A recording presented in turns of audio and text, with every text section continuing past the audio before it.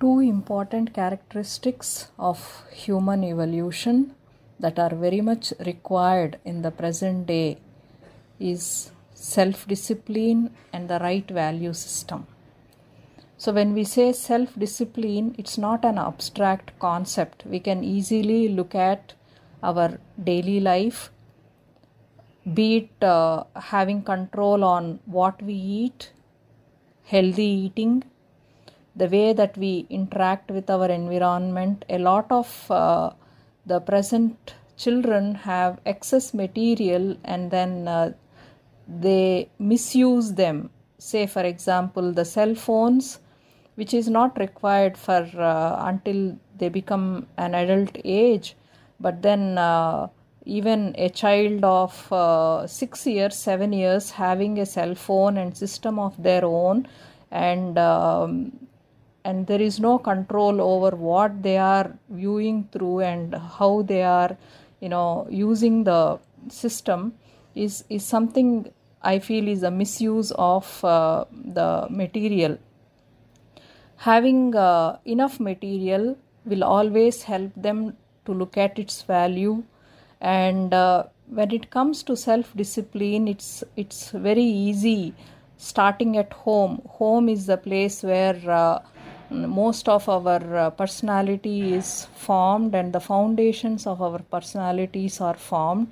School can help to some extent but at home where uh, you know the right value system uh, helping when someone is not well helping in uh, small little household chores and um, when when there are grandparents trying to help them getting things required say it water or food or helping them when they are not well helping the mother in the kitchen or father if if they have to you know uh, help in small little things. It's always important to involve the children and then always telling them that uh, study study study is not uh, always advisable so we need to bring this empathy into our children.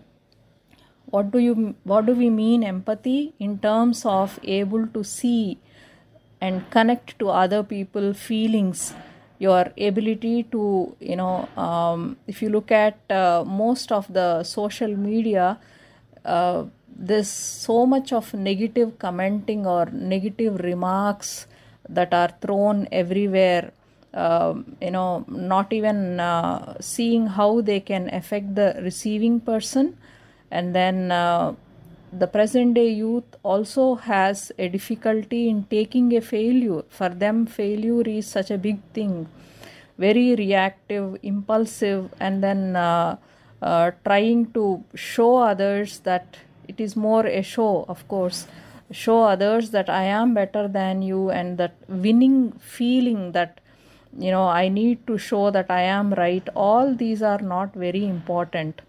So failure always helps one person to look at close and then able to take failure makes you a better person.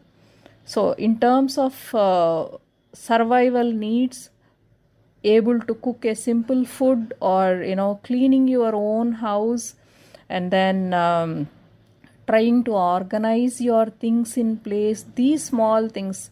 You know i also look at kids just trying to you know wash their plate or glass. What they have used is such a such a big problem and they can't clean the place where they have uh, uh, taken the food.